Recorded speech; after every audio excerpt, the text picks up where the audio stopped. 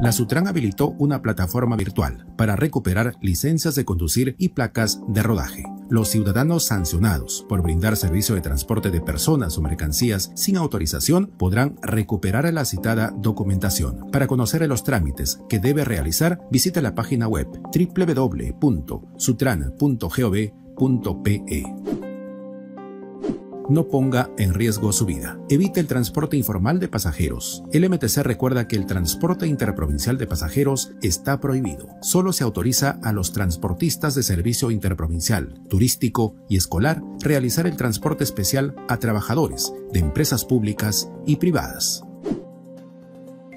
El titular del MTC, Carlos Lozada, inspeccionó la instalación de un hospital móvil en Cañete. Se habilitarán en el Coliseo Lolo Fernández 100 camas hospitalarias con capacidad autónoma de oxígeno para pacientes de la COVID-19.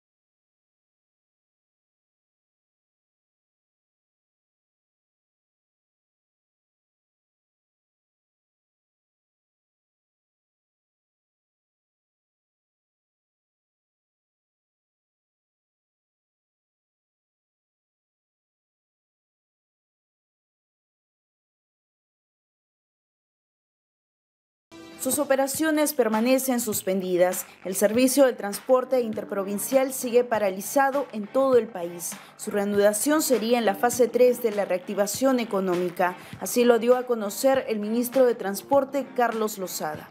Lo que hemos permitido es un servicio extraordinario, un servicio de transporte privado para las empresas que estén activadas en la fase 2, como las constructoras y de comercio. De acuerdo al titular de transporte, solo se permite el traslado de trabajadores de empresas públicas o privadas. El día que los transportistas interprovinciales retornen a sus labores, deberán cumplir una serie de restricciones y protocolos. Por ejemplo, solo podrán trasladar a una cantidad limitada de pasajeros. Ante esto, las empresas exigieron al gobierno una subvención directa si sus buses llegan a operar al 50% de su capacidad. Un bus para poder operar requiere un mínimo de 75% u 80% de ocupación de su capacidad total. Requerimos entonces que la diferencia sea asumida por el Estado. Piden garantías para no perder sus ingresos, explicaron que no se cubrirá los costos de su operación. Mientras tanto, los colectivos informales se apoderan de las vías como si nada estuviese pasando.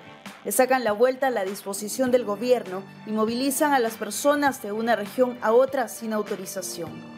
Esto fue duramente cuestionado por la Asociación de Empresas de Transporte Interprovincial de Pasajeros, que consideran la existencia de una contaminación vial en plena cuarentena. Las autoridades fiscalizadoras señalaron que vienen efectuando las medidas correctivas. Sin embargo, debemos indicar que dichos operativos son solo momentáneos y para mediatizar. El gremio lamentó la falta de control en las carreteras, pues no hacen respetar la inmovilización social y mucho menos los protocolos sanitarios para evitar la propagación del COVID-19.